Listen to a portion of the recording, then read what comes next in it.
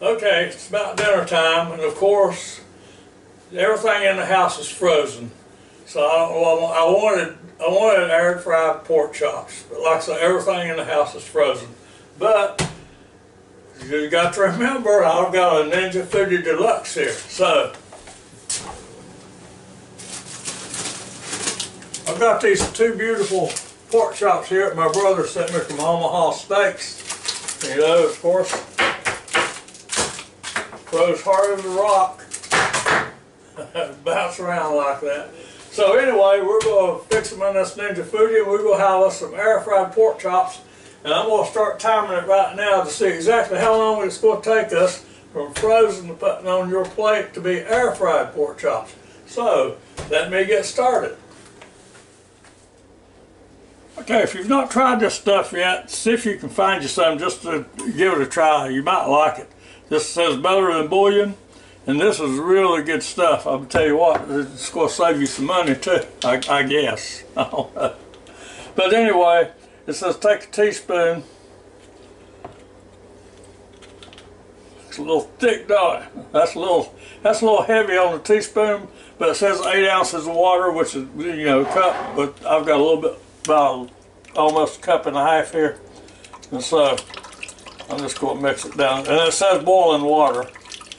And I don't know, I don't think I got this quite boiling water, but it's pretty hot. So if I keep sloshing it out, I won't have it. I'll have to put some more in here. But anyway, I'm going to dissolve it up as good as I can, but I'm going to put it over here in this Ninja Foodi Deluxe, so it's not going to much matter whether it's completely dissolved or not because it's going to be dissolved in a minute. So now, I've got this rack here that come with the Ninja Foodi Deluxe. I'm going to put it right down in here like that. Okay, then we'll put my, almost got cup and a half here of liquid, so I'll put in here. See, all that stuff didn't dissolve in that water, but it will be dissolved before it finishes cooking, I promise you. Okay, and next we're going to put in the pork chops. Let me get them. Okay, now I've got my uh, better than bouillon down there. Oh, by the way, I, I forgot to tell you, this is roasted chicken base. Uh, I can't believe it's, uh, or better than bouillon. I'll get that right in a minute. Haven't been using it a long time, can you tell? so, I've got that down there. I've got these two little pork chops down in there. Okay, now we're going to come over here and we're going to put the pressure lid on. You know, you line up your arrows, turn it clockwise so it stops. You come back here and make sure your valve is turned to seal and not vent. Make sure it's turned over here to seal. Okay, and now you turn on the power. Okay, you turn your little selector knob here over to pressure. Now it's on high, you want to leave it on high, but you don't want 10 minutes on because we're not going to do nothing near 10 minutes with these. We're just going to come down here and give them three minutes is all we're going to do. Alright, now we're going to hit the button. Now I said three minutes, so you know it's just I'm really more or less just thawing these out real good and having them nice and juicy so I can put my ingredients on them so I can air fry them. So, now you can just leave these setting out for two or three hours or four hours or how much it takes to thaw out your food and and skip this part right here altogether. However, if you come home and you have something froze like that and you want to get it on the plate pretty soon, this is the way to do it. So stand by. Oh, by the way, you know, the little light's going to run around until the button pops up and back. And I'll show you and tell you how long that took when it happens. Okay, now it's been about seven minutes since I hit the start button. And you can see this little silver button hasn't come up quite yet. But it's getting warm back there. Don't do this at home because you'll burn your hand if you do. So don't do that at home. So it's getting ready to pop up this any second. And there it comes, right on cue. okay. Now, as you know, it's going to take a couple more minutes for these lights to start counting down here. And there it went. Just took about 30 to 45 seconds for those lights to, to quit running and the time started counting down. Now, in the meantime, while it's counting down those three minutes, we're going to come on over here and get our stuff ready for uh, to fix these pork chops so we can fry them, air fry them here. So we've got some flour here, and you know, I always like to sift my flour, you know. I don't have much, not much here, but it's not going to take much for those two little chops. There you go with the sifting. Now we'll take the pepper.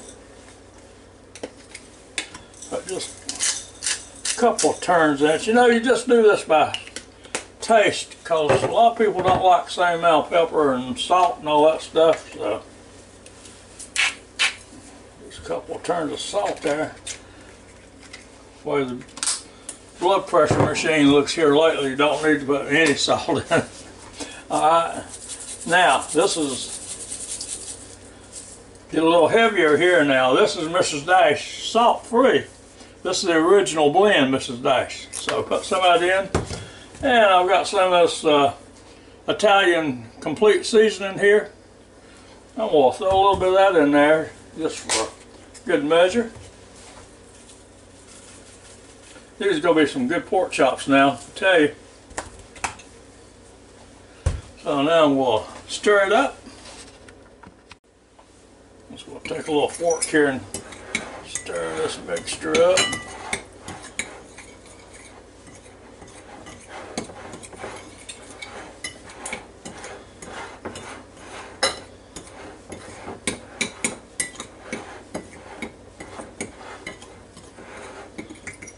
Go, about like that.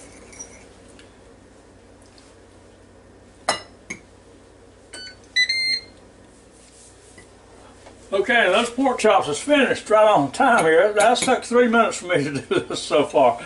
Uh, no, I was that slow. So anyway, I want to put me some buttermilk over here in this bowl. I told you these are going to be good pork chops.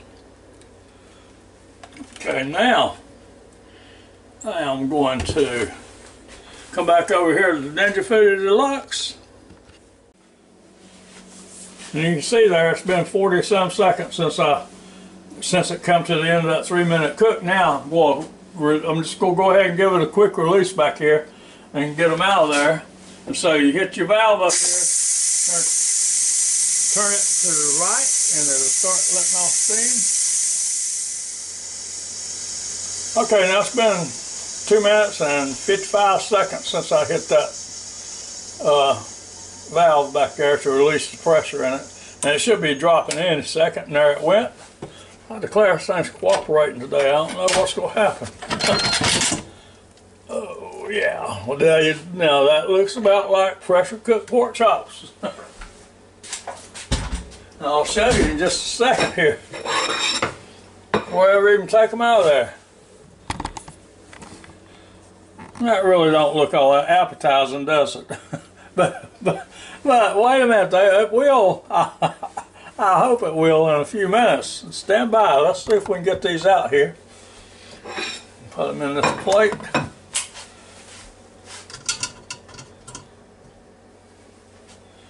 There's one of them.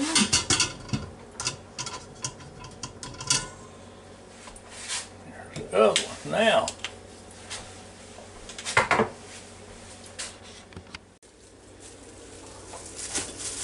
Okay, now these cooled off a little bit, so I'm going to put them right down here in this buttermilk.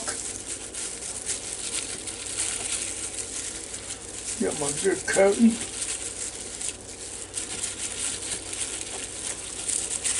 Now we'll put them over here in the flour. Get a real good coating of flour.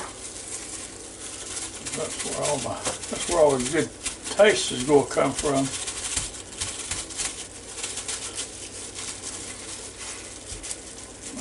On all sides and ends. All that good stuff. Now, we'll put it back over here in this Ninja Foodi Deluxe on that same rack. Of course, I wiped it off. And I did empty the liquid out of the uh, bottom of the pot. Because when you get ready to air fry, you don't want it to be uh, when you get ready to air fry, you don't want any liquid down there because it's just going to make steam and it's going to take it longer or, and everything to uh, cook it.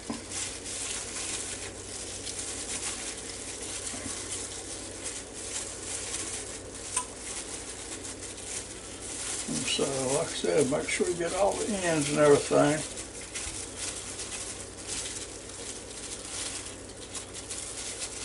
And I'm sure when y'all do this, you'll have much bigger pork chops. Well, I'm not sure, but I would think you'd probably have bigger pork chops than all. But really, the, the cook time and all is going to be about the same. Now on the air frying here, it might take you a minute or two longer if it's real big uh, pork chops, you know. So, but the uh, the pressure and all should be about the same amount of time.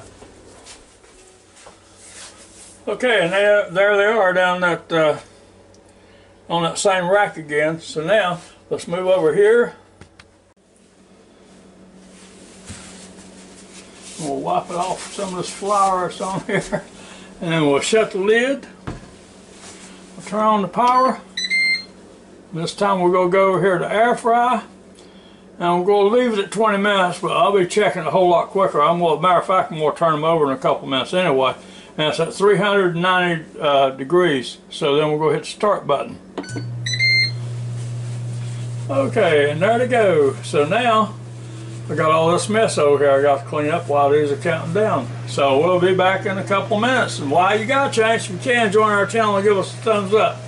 Thumbs up. We sure would appreciate it. Thank you very much all you people watches our videos and thank you for ordering from our links down below. Check them out.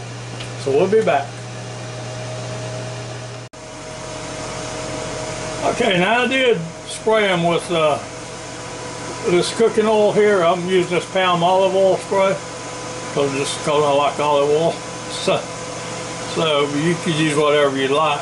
And so I turned and I went ahead and turned them over. I forgot to show this on camera for some reason. Other, You know, it must have been a, a, a mental lapse there for a second. But anyway, I sprayed them with uh, that cooking spray there. And I turn them over. So we'll be back in a minute and I'll show them to you. Okay, now these have been in there for 14 minutes, and I don't know, I might be getting ready to take these out. Now that one over there looks like he's really ready, and this one right here looks like it might just need one or two more minutes. So I think I'm just going to let go ahead and cook this other one. I'm going to let cook a minute and 15 seconds now to give it exactly 15 minutes in the pot. So shut the lid and let her get started here.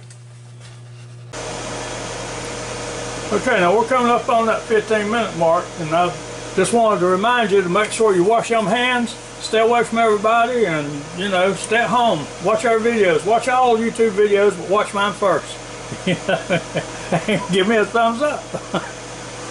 and so, I'll be so glad when this mess is over. I want to get back and start mingling with people. You know, you can't go anywhere. Can't even go to church on Sunday. So we got one more second to go, and we'll open it up.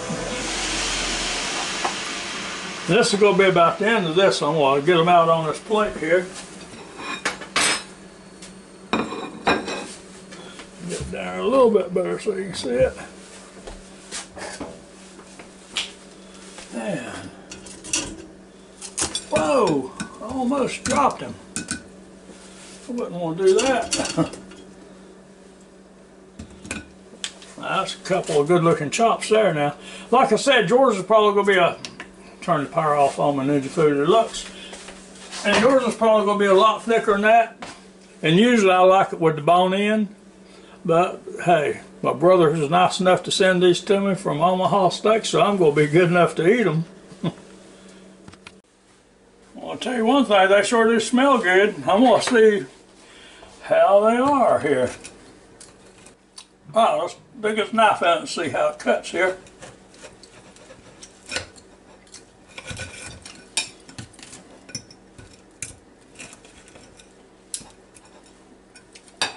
Well, that's that white part right there. That looks pretty good. So anyway, there you have it. That's about it for this little pork chop recipe here. And I hope you try it sometimes because it really is good. The outside is so crunchy and that's perfect, perfect blend for me for the uh, flour. Because that's really a good flavor on it.